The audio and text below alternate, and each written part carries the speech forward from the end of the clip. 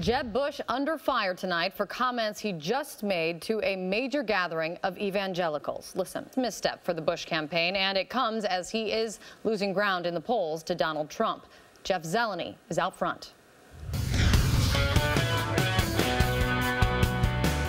Tonight, despite growing outrage, a Kentucky Sheriff's Department is defending one of its deputies. Watch the video. You heard the family's attorney's side of this story.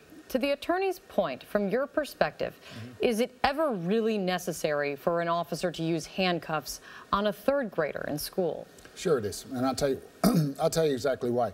Apparently, the I don't want to hurt an eight-year-old kid. I don't want to handcuff an eight-year-old kid, right. and neither did that officer probably. But the fact is, that kid was probably so child. Well, listen, to protect the child from himself. We don't see what happened before the video. We're only seeing one aspect. That they want is better training, different training, additional training for officers to be able to deal with children with, in a disciplinary situation, mm -hmm. to better deal with kids.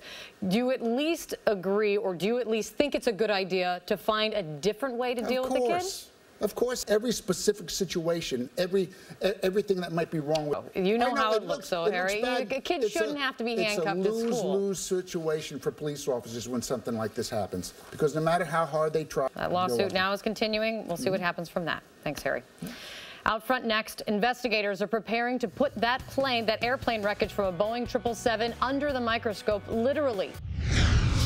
Tonight, the search for MH370. Investigators are about to examine the wing flap that washed up on a remote island, trying to determine if it is from the missing plane. A forensic lab that we visited today said the type of analysis that they demonstrated for us today, it would take at least a week before they came up with definitive answers they felt comfortable in sharing, perhaps a loose timeline for what we have to look forward to. Kate. All right. Rene, thank you so much. A fascinating look at the process going forward. Joining me now, David Soucie. So, David, you saw mm -hmm. that it was really fascinating getting into the lab and how this process will go about. Right. What would what is the first thing that you would be looking for? What is the first thing you would be inspecting, and thus, what are you going to be listening for when they come out to announce findings? Well, you start before begin. In the end, David, from your experience investigating this kind of stuff, do you anticipate that the investigators on this case that they're going to be able to definitively say from this wing flap?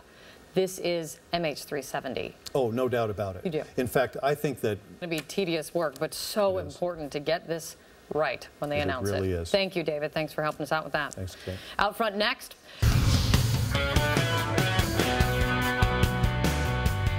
Tonight, police across the country are warning of a dangerous spike in synthetic marijuana use. Rub Donald Trump the wrong way and you'll be called a moron or a dummy. But the L word, that's an insult with a category of its own.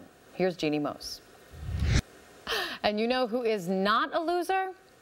AC360 starts now.